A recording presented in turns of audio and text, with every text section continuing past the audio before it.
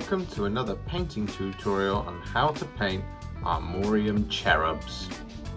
For this tutorial you will require a pot of Magos Purple, Guilliman Flesh, Apothecary White, Basilicanum Grey, Skeleton Horde, Blood Angels Red, Talassar Blue, Grey Seer, Ulthuan Grey, Flayed One Flesh, Iron Warriors, Iron Hand Steel, Retributor Armour and Liberator Gold. So the very first colour we're going to use is Guilliman Flesh, and this is for all of the cherub skin. Uh, you could use any of the flesh paints if you that you wish for, you know, the kind of uh, level of shade that you want. But I'm going with Guilliman Flesh because I want to get that nice kind of soft baby-like skin. Uh, and Guilliman Flesh is the palest. So using my medium layer brush, I'm just going to take some on my brush and I'm just going to start painting this Guilliman Flesh all over all the skin parts of the cherub. Like so. I'm going to make sure to get right in there. Once that Guilliman flesh is dry, we're going to give the wings a good thick coat of Apothecary White. And so we just take some on our brush once again using a medium layer brush and we're just going to start throwing this Apothecary White all over those wings like so. Just going to concentrate our brushes strokes to where the majority of the feathers are, so up here at the top of the wing, and then kind of pull the contrast out to give us a kind of a smoother finish on the on the longer, larger feathers. So once again, just on this side, we keep our contrast here at the top, and then we just start pulling it out like that, just following the design of the wings. Once those wings are dry, we're going to take some thinned down Iron Warriors. I'm going to paint in all of the silver parts. And on this one, this is places like this large ring that he's holding. And also these cuffs. And the chain. Once all that Iron Warriors is dry, we're going to use some thinned down Retributor armor to paint in all the gold details. And for this, this is going to be things like these ornate clasps on the chain, like that, and also the halo around his head, like so. I'm also going to do some Retributor armor around the casing of this sensor. Once all that Retributor armor is dry, we're going to paint in all of the bone and parchment. And for this, we're going to be using Skeleton Horde. So we just want to take some on our brush. And we're just going to start with the skull here. We're just going to start painting this Skeleton Horde all over the skull helm or head. It's a little bit unclear. Start painting that all over this. It's probably reasonable to assume that it's just the baby's head because what could be more Warhammer 40,000? Anyway, once that part is done, we're just going to do the back of the skull as well. Back here.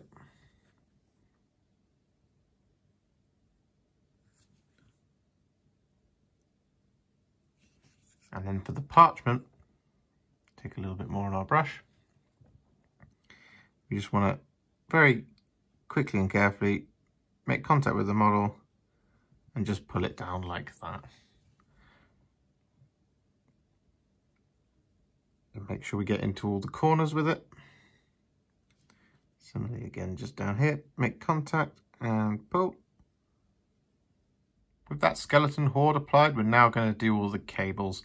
And for this, I'm going to be using Blood Angels Red. So there's a trailing cable just here.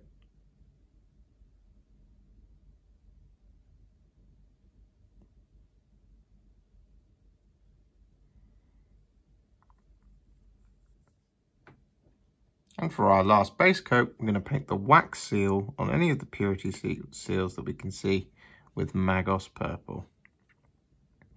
This one's just here on the ring. Like that.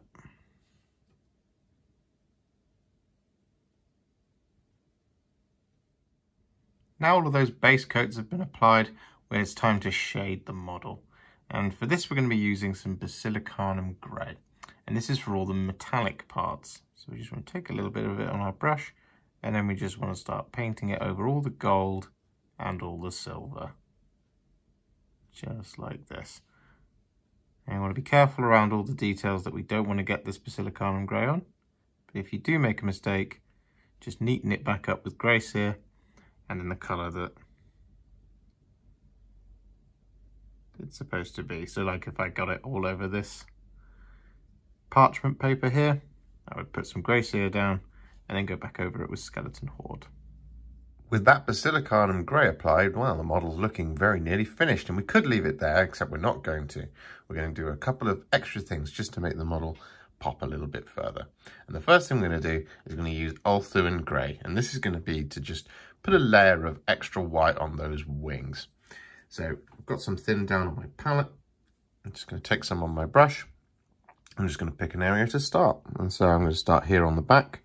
I'm going to start at the base of the spine. So I'm just going to start painting this Ulthuan Grey all over these wing feathers like this, but just leaving where the apothecary white has settled in the recess like this. With that Ulthuan grey applied, we're now going to add some skin highlights. And for this, we're going to be using some Flayed One Flesh. And all we want to do here is just pick out the raised details of all of the skin. So like down here on his arm, there's a there's a bit, there's like a little crease just there. So we just want to apply a little bit of this Flayed One Flesh just there. Similarly on the knuckles and on the fingers down here. With those flesh highlights applied, we're now going to do some metallic highlights. And for this, we're going to be using some thinned down iron hand steel.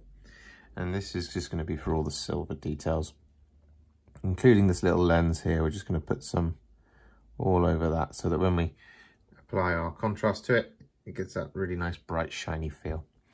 Other than that, we're just going to find all of those bits that we want to be brightened up with the silver, including all these little nodules in the skin that you can see dotted all over the models. And we just want to pick out all of these edges like this with the iron hand steel. And next up, we're going to add some Liberator Gold to all of the sharpest points of those gold details. So like on the halo, we're just going to add it along the tips of the spikes. And then down here on this bit, we're just going to add a little bit as an accent to the tops of these things. And lastly, we're going to add a little bit of Talassar blue over the lens on the eyepiece there.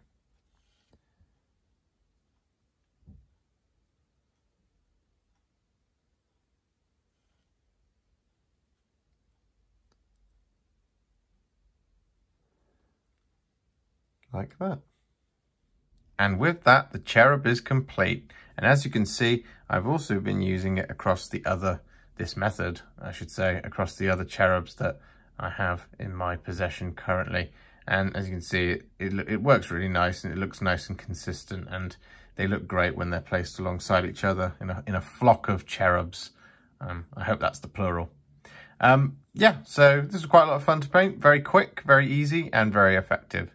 Um, if you enjoyed this tutorial, uh, please subscribe to the channel. I'm trying to create as many contrast tutorials as I possibly can. Um, and I hope everybody's staying safe out there, which will date this video to the time of COVID-19. Um, yeah, I hope everyone's okay. And um, yeah, just kind of stay safe out there, guys. Keep painting. That's what you should do. Uh, like, comment, and of course, subscribe, as I've already asked. Um, I'll see you in the next one, and I hope you enjoyed it. Stay safe, people.